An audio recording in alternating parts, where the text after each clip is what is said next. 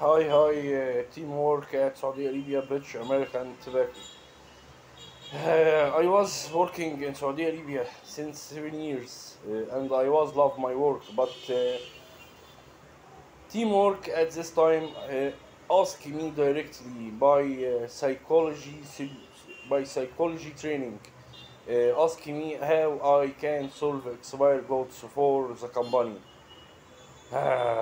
I was trying to do my best to achieve the goals, but uh, my project called Save the World System to save the children worldwide. So please, please, please, uh, I don't ask to be winner or, or, something, but I need budget to make my project happen. Thank you very much. Bye, bye.